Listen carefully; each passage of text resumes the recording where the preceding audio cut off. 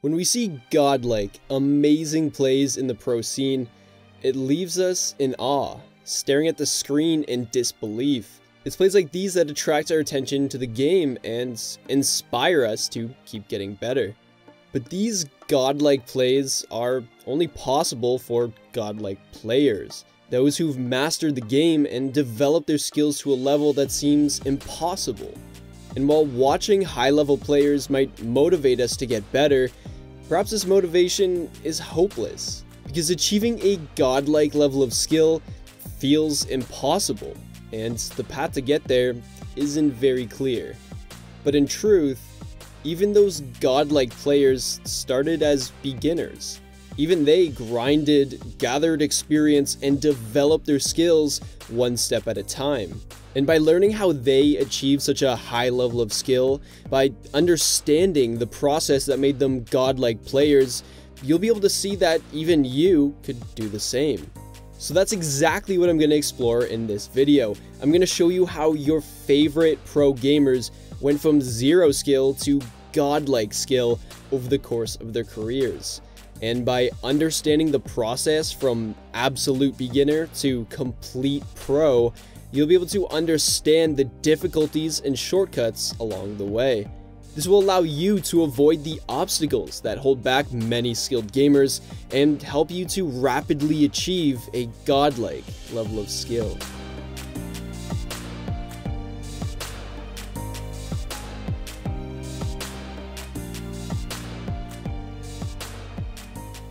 When developing a skill, we tend to follow a specific learning path from absolute beginner to complete pro, or as Stuart Dreyfus would put it, from novice to expert.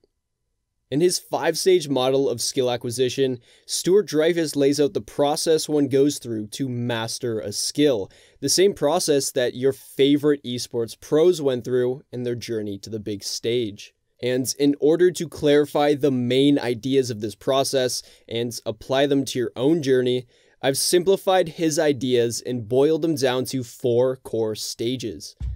The first stage and the starting point that even the greatest players began at is what I like to call the student stage, a point in which you must learn the absolute basics. The first step as a student is to find a good teacher. This teacher can be an actual person, say an esports coach or a friend who's great at the game, but it can also be reliable tutorials or YouTube guides. Once you've found your teacher, you must open yourself up to learning the fundamentals and motivate yourself to master them. For many, it's hard to adopt this mindset because they don't want to let go of their ego. They simply want to pretend that they already know what to do just so they don't look foolish. But this is a huge mistake, because to learn something new, you must let go of everything you think you know. You must wipe your mental slate clean and become a student who's hungry to learn. So once you've found a teacher and adopted the necessary mindset, you'll begin by learning the basic elements of the game and the proper actions you must take based on these elements. For example, if you're just picking up the game League of Legends, you'll need to learn the rule of last hitting. You'll learn to identify the elements of an enemy minion's health. Then you'll learn that when its health is low, to execute the action of attacking it. And if you time this well, you'll get the killing blow and be rewarded with precious gold. So at first you'll need to learn all of these basic elements and rules, whether it be learning to last hit, block an attack, or toss a frag. But of course, learning these basic rules is just the start. And by blindly following them, it'll produce poor performance when you're actually in a game. For example, by always going in for the last hit, just because a minion's health is low, you're sure to become vulnerable and fall victim to your enemy's attacks. So as a student, you'll not only need to learn the basic rules, but you'll also need to learn the context in which these rules make sense and don't make sense. This will be dependent on learning important situational elements, such as how close your enemy is to you while you're last hitting. And based on these situational elements, you'll create memorable maxims to guide your actions. As an example, you'll learn to use the minion's health as well as the enemy's distance and range to determine when to last hit. To remember this, you think of the maxim last hit when the enemy is at a safe enough distance. And since a safe distance is dependent on factors like an enemy character's range and their playstyle, this and other maxims will be learned alongside specific examples and experience. So, as a beginner or a student, your key is to focus on learning the fundamental rules and situational maxims that guide your performance. Mastering the stage requires both a strong understanding for these fundamentals and the ability to effectively apply them in game. Only once you've mastered the fundamentals and developed a strong knowledge base of the game will you be able to move on to the next stage in the process. Unfortunately, many players hit a major obstacle at this stage that causes them to improve slowly or even burn out. And where most people fail is by losing the motivation to make progress. When beginners realize how many fundamentals they need to learn to get good, the game begins to feel less like a game and more like a job. Dota is an online multiplayer game that's so popular, its championship trophy comes with an $11 million prize. It takes thousands of hours to learn Dota's rules, and most people give up long before they achieve basic understanding. So, start me on the basics. How do you explain Dota to somebody who has no idea what's going on? The way I would try to describe it is it's five versus five online play. Players will choose a hero, which there are 100 plus of. There are a ton of heroes to choose from, and each of them have their own skill set. So the objective, there's three lanes. See, it's already getting complicated. Yeah. it's obviously easier if you play a bit, but Dota is just one of those games that the base level is very high. And of course, when the game begins to feel like labor and stops being fun, you'll quickly burn out and stop making progress. But how do you avoid this? How do you prevent this type of burnouts and progress to the next stage faster? The answer is in focusing on a few specific fundamentals at a time while keeping things fun, purposeful, and competitive.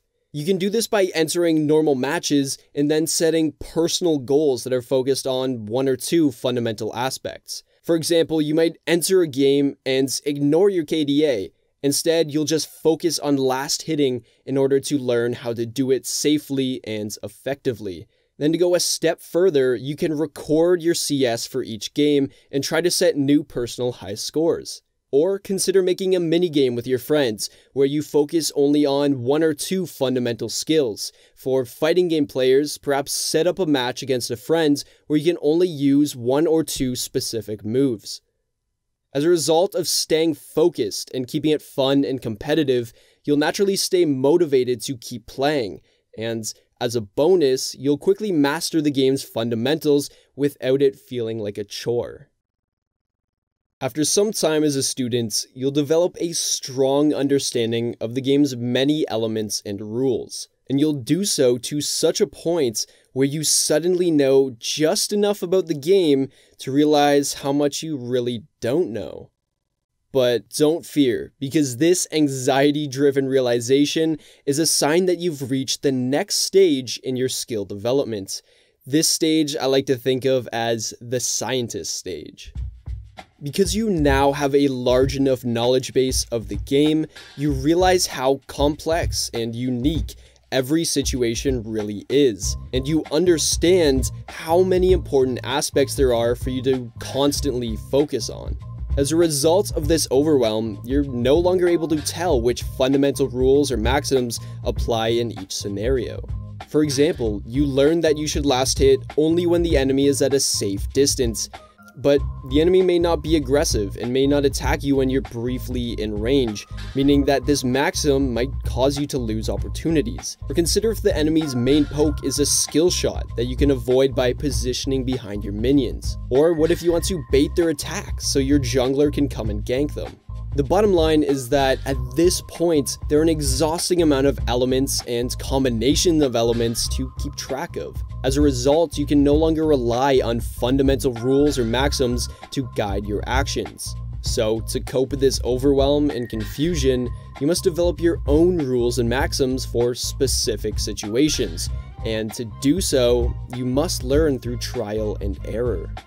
To begin, you must learn what aspects to focus on and which you can ignore in a given situation. For example, you may be overwhelmed while last hitting because you learn that's important to track your enemy minion's health, the enemy laner's range, their abilities, your vulnerability to being ganked, etc. But having to pay attention to all of these at once just to know when you should last hit is exhausting. So you devise a plan of focus so you can filter the important and unimportant elements. For example, you realize that a major factor is who you're laning against, both their character's capability and their playstyle. So you start each laning phase by identifying your opponents and then testing them to see what they're capable of.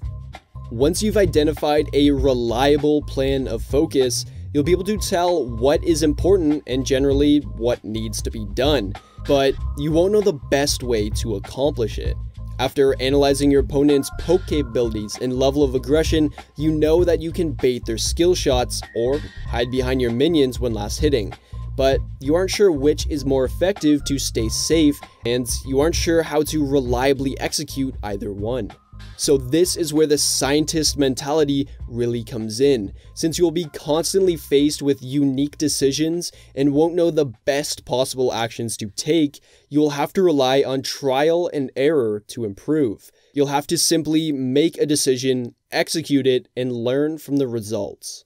You'll have to learn through experience how to handle a full mana Ezreal who's one kill ahead of you, or how to anticipate and tech an aggressive Zangief.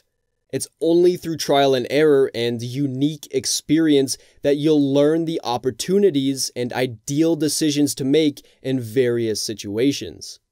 And it's this process of trial and error that's so unique about this stage. Suddenly, you're no longer relying on fundamentals or previously learned lessons in order to improve. You're now relying on your own decision making, thus taking on the full emotional burden of every choice. And of course, this poses an obvious problem. Since at this point we're still in an early stage of learning and so dependent on trial and error, we're prone to make a lot of mistakes. And naturally, this causes a lot of emotional stress, which is why it's often this stage that holds many players back. Players at this stage often get overwhelmed with the emotional burden of choice, causing them to get tilted and throw the game, or just as bad, they cope with it by placing blame on external factors.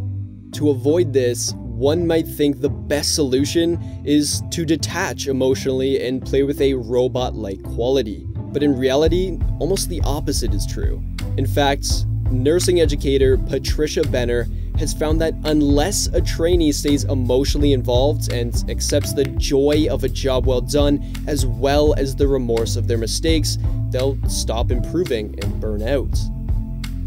And a potential reason for this is that emotions are important for memory formation and decision making. For example, you may have heard the saying that people make decisions based on emotion, then justify it later with logic.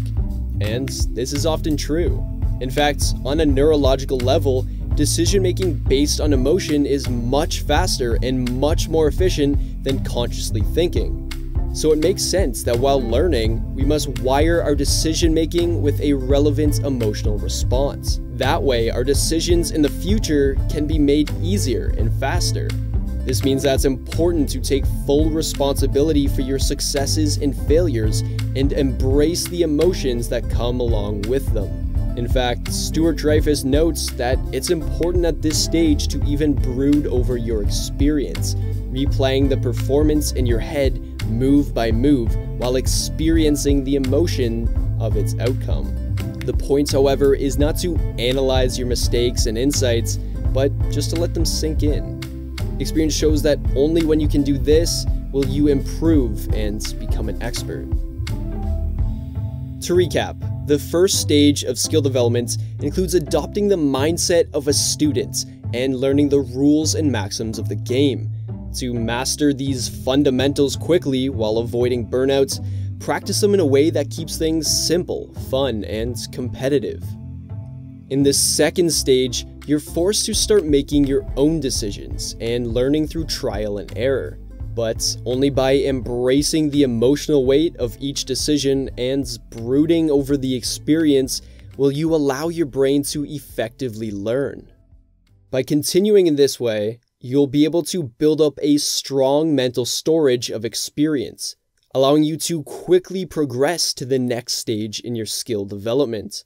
But this next stage will be left to explore in the next video. In part 2, I'll show you how to continue improving and developing into a high level player, perhaps even a godlike player. Achieving such a high level of skill is something we all desire, but for many this desire feels hopeless.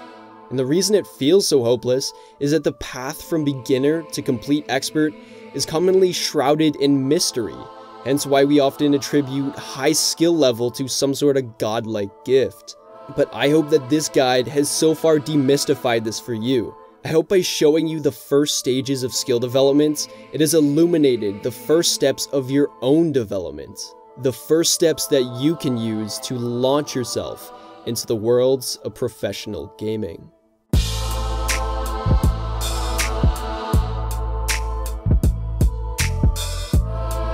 Hey guys, I hope you loved this video and I hope you got a ton of value from it. If you were inspired by it or learned something new, then tell me about it in the comments down below.